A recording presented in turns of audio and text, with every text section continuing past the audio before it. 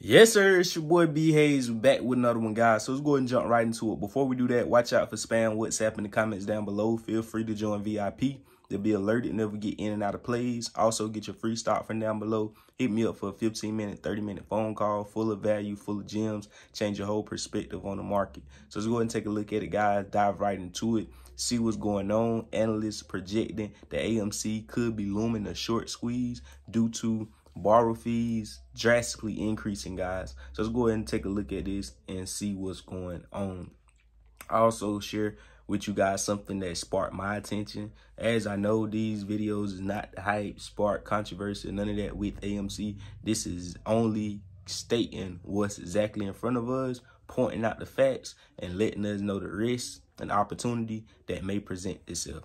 Like I told you guys, the best position is on the sidelines, a cash position, waiting and hawking for the best possible opportunity to create yourself in the market and then striking and then sitting right back out, chilling, waiting especially in the economy and the situation and the state that the world going into. We don't know which businesses is going to come out of these ruckus and continue to succeed. We don't know which ones is going to fail. Obviously, I do believe the biggest are the biggest, even when things coming their way for them to fail, they so conniving and manipulative, they still gonna win. But in the end, they'll lose, if that makes sense. For instance, like Meta, Facebook, it was over with. That stock should be crashing. It should be going down. People it had a nice run, great company, but only for a certain period of time. You could be great, but I believe some greatness have a time period to it. Like you can't be great forever. Meaning, you know, LeBron James, time period to it. He can't be great forever. He the greatest basketball player, but eventually he's going to get too old. He's not going to ball at the same pace and be able to create the same opportunities on the court as he did before. Same thing with business. Eventually, you know, the well will run dry. Some businesses last for thousands, hundreds of years, this, that, and third, but a lot of them don't even last for three. So as we know, guys, same thing. What I'm just trying to say, how TikTok was taking over, Facebook, all these other social platforms in America would have crashed and been over and done with. But now they're able to restructure and revamp their business, coming out with paying for verifications that amplify Meta as well, and all the other stuff. But anyways, just to get you guys to uh, know uh, the standpoint uh, with that. But anyways, if we go ahead and take a look at this real quick, short squeeze looms for AMC at stock borrow rates soar, guys. So let's go ahead and take a look at this, see exactly what's going on.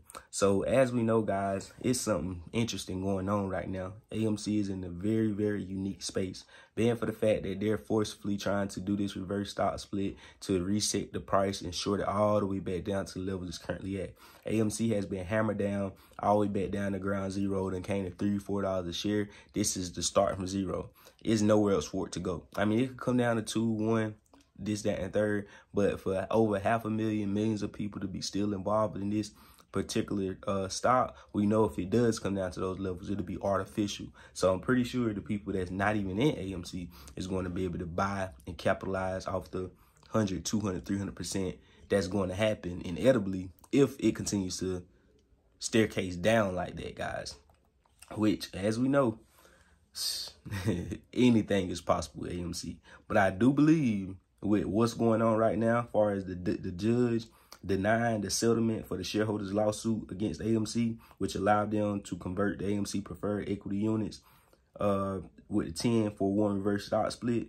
That since that's being postponed and delayed right now, that is buying us time. And on top of that, something interesting just happened in the space of meme stocks if you know Express. Express was one of those stocks I called out a while ago when AMC when it first got on my radar first came about. When it was, when Express when AMC did this thing, I called out a sympathy play, which was Express was going to do its thing. It 100% guaranteed did exactly what I expected to do. The times that we had called it out. Now, if you notice, Express has been in a sense, it's been having bigger pops than BBY. It's the new BBY, the new Bed Bath and Beyond as of now. Usually before out of all the meme stocks, GME the king, AMC was next, but it'll be BBY, Bed Bath & Beyond, the one that pop 100%, 50% in a day out of nowhere when it should have been AMC. Now Bed Bath & Beyond of declining, while Express is the one popping out of nowhere, going up 30, 40%, 100%, 50% in a single day, as we've seen in the past few weeks and on Friday if you're paying attention to details and zooming all the way out and paying attention to it. And as we know, what they got to do with AMC. See, if Express, BlackBerry, whatever one of them in that field, in that sector, it's not a guarantee that just because they're going up, they're going to push everyone else up. But the chances is that much higher whenever one of them is already succeeding and doing well in the space, it can definitely draw attraction to the other ones in that space. Express taking off 40% in a single day, it definitely can catch fire to AMC. That's what I'm trying to get you guys to understand here. So if we also go ahead and take a further look, right here we got the borrowing cost for the stock of the American movie theater chain open Wednesday, April the 12th at almost a thousand percent, according to the relevant data shared on Twitter uh, in investment advisor Kevin on the same day.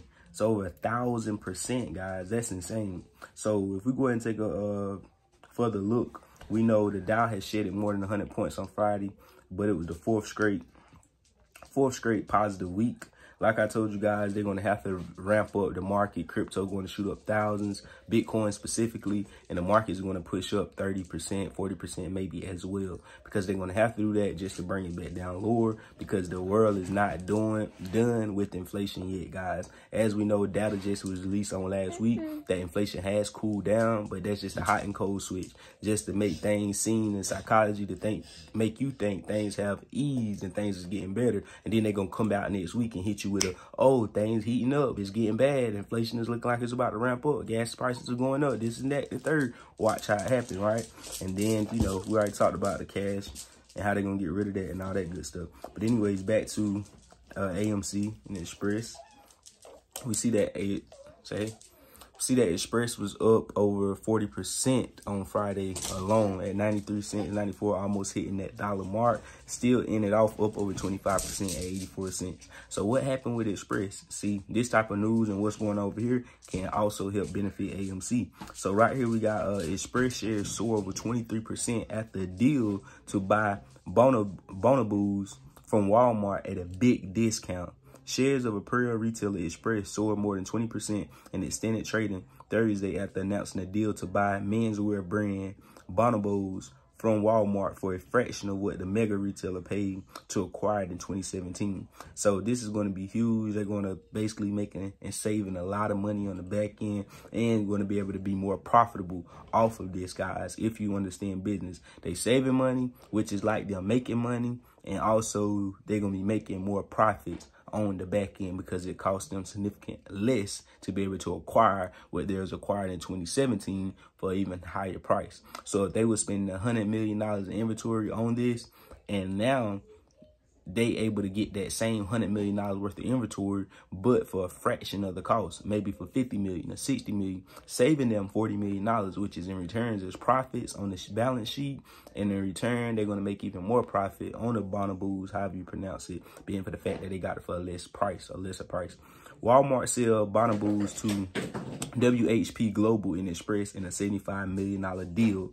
Walmart is selling Bonobos to a brand management firm, WHP Global in Express, for $75 million. The second time it sold a direct-to-consumer brand this year. The retail giant originally purchased Bonobos in 2017 for $310 million, while it was attempting to grow its online presence under, under former e-commerce president Mark Lore. So as we know, guys, that's great information, great news going forward into next week. Lots of money to be made. Stay meticulous, stay smart, aim small, miss small, stay on your level until you build up house money to be able to graduate and go to that next level. So you already know what to do, man. I love y'all. We out and God bless you.